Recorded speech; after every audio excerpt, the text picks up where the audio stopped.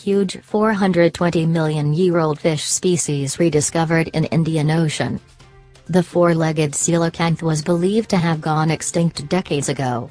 A humongous fossil fish with origins that can be traced back 420 million years has resurfaced in the West Indian Ocean off the coast of Madagascar. The 6.5 feet, up to 198 pound coelacanth, Latimeria chalumnae, was believed to have gone extinct at least a century ago.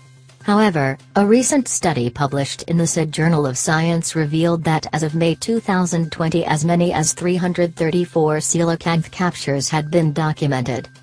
The coelacanth species, also known as the four-legged fish for its vigorous fins, roams in deep undersea canyons between 350 and 1,600 feet below the surface.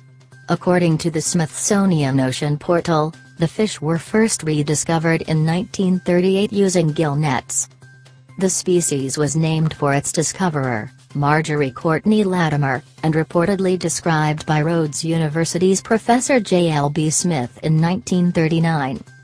It can weigh up to 200 pounds, according to the non-profit conservation and environmental science news platform Mongabay.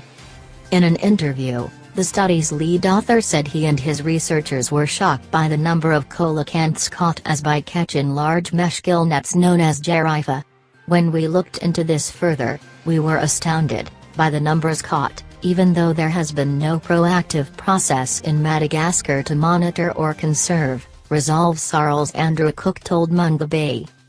While Latimeria chalumnae is classified as critically endangered by the UN, more of the four-legged coelacanths have been caught around Tanzania, South Africa and the Comoros Islands.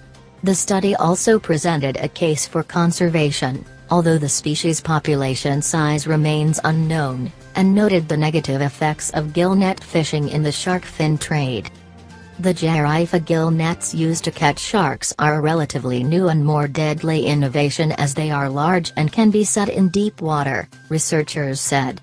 There is little doubt that large mesh Jarifa gill nets are now the biggest threat to the survival of coelacanths in Madagascar.